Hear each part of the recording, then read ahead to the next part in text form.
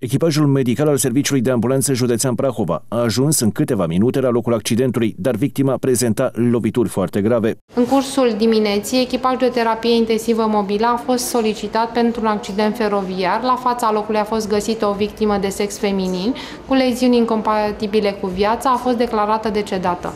Localnicii spun că și-au dat seama că s-a întâmplat o nenorocire. Unii spun că este posibil ca femeia să fie din zonă, iar pe calea ferată ar fi ajuns în momentul în care aduna lemne de-a lungul terasamentului. Am văzut trenul când a trecut. Noi făceam beton, adică făcea băieții și a trecut trenul în sus. Și am auzit că s-a oprit tren. Și mă, cine știe ce Și suna.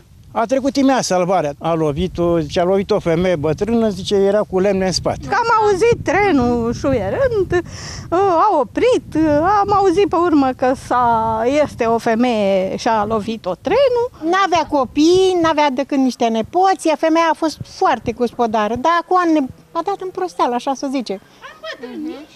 Să și nu fi auzit trenul. Să... Ori n-a auzit, ori s-a aruncat ea înaintea lui. Că deja o luase din loc. Trupul neînsuflețit va fi examinat de către medici legiști de la Morga din Ploiești, iar anchetatorii încearcă să o identifice pe femeie și să anunțe tragedia familiei acesteia.